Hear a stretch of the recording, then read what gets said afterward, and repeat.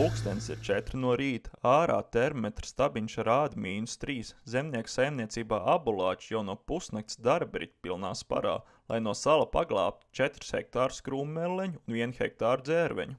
Tā šobrīd notiek pretsālu laistīšana ar eh, principu, kad ap krūmiem tiek apsaldēta leduskārta un iekšā pie zieda saglabājās 0 grādi. Un, jā, tas notiek ar ūdeni, un ūdens patēriņš ir diezgan liels, aptuveni 30 kubikmetri uz hektāru stundā tiek patērēts. Laistīšanas sistēma var pasargāt augus simtprocentīgi, ja temperatūra nav zem mīnus 5 grādiem. Ja ir lielāks sals, tad gan zaudējumi ir neizbēgami. Iepriekšējā gada maija salnas bija īpaši ekstrēmas. Daudz vietā tika zaudēta pat simtprocentīgi raža. Mūsu platībās bija lauki, kur zaudējām 50%, bija arī atsevišķas vietas, kur tika zaudēta 100% raža. Šobrīd jā, nākamā naktis solās būt augsta, bet nu, jācer un netiek solīta, ka būs tik augsta, kā, kā bija pagājušajā gadā.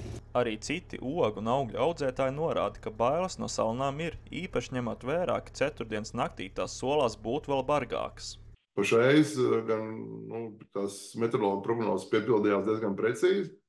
Ziemeļvidzemē un Latgalē šīs salnas bija tādas, kā bija prognozētas, bija praktiski šie mīnus 2 grādi vai, vai atsevišķās zemākajās vietās termometru stabiņš nokrit līdz mīnus 3.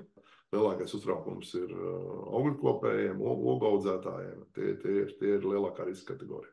Ja temperatūra sasniegs prognozētos mīnus 5 grādus, tad vairāk cietīs ābeles, plūmes, ķirši, dzērvens, krūmelens un zemens. Zemnieki, kuriem ir plaši lauki ar šīm kultūrām, risinājumu nav. Atliks vien noskatīties, kā ziedošie lauki nosalst.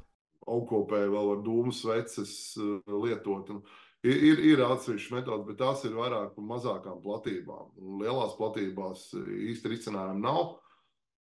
Ir pašiem zemniekiem ir jāizvērtē riski un jāaudzē kultūras, kuras ir salisturīgas. Varbūt viņas ir mazliet mazražīgākas, bet izturīgākas pret salu.